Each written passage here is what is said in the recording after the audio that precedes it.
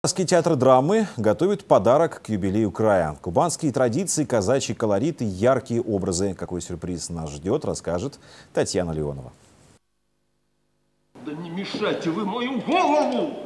Чья свадьба? Слушайте, ну у вас невеста, у меня жених. И кто?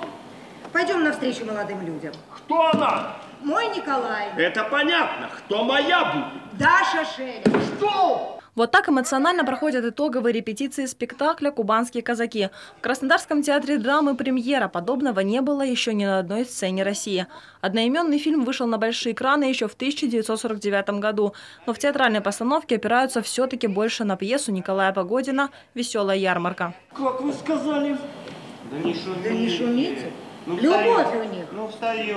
Репетиции начались еще в августе, но каждый выход на сцену – это новая работа над ошибками. Все сцены отыгрывают под чутким руководством режиссера Кирилла Стрежнева. Он приехал подготовить постановку к юбилею края из Екатеринбурга. Люди, которые были тогда, э, вот такие чистые, наивные, доверчивые, лучезарные. Я считаю, что это то, чего нам сегодня не хватает. Я хотел бы, чтобы э, люди вышли с доброй завистью, а может быть с мыслями о том, что «а чего же такой злой?» Сохранение культурных традиций, кубанский колорит. В спектакле стараются показать все.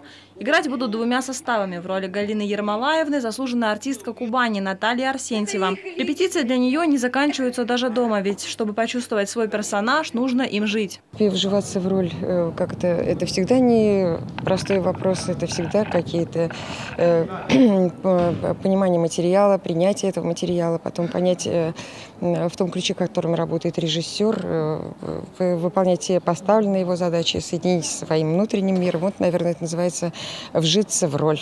Помогают вжиться в образ и детали на сцене. Здесь нет случайных вещей. В музыкальной лавке есть и пианино, которое словно парит в воздухе, и гитара, на которой потом главная героиня исполнит известную песню «Каким ты был, таким ты и остался».